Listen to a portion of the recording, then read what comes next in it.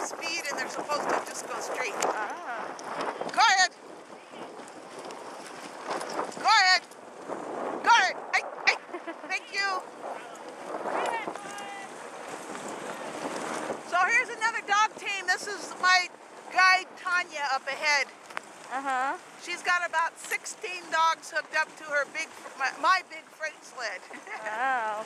How many dogs do you have in all? I have about 24, Uh-huh. 25. All right.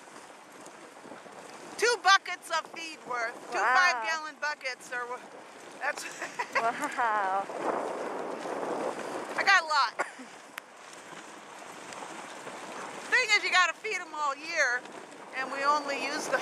But what do they eat? What do they eat? Everything: salmon, chicken, horse, Horse? whatever. Huh. Yes, if people's horses die, and I have Uh-huh. horses myself. Uh-huh. When they die, they feed the dogs. Wow.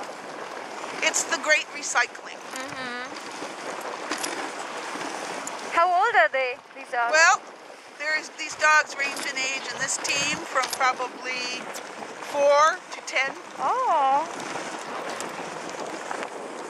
Who's the youngest? Uh, Mijo, who is the little, the big gray dog right in the middle on the right hand side. Oh. In fact, that's his father Uh, in the lead, Aw. the, the black dog, and I left his mother back at the truck. oh.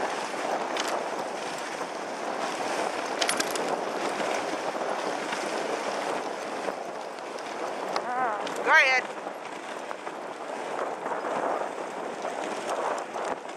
Go ahead. Gee. Okay, another dip. Watch this team. All right, go ahead.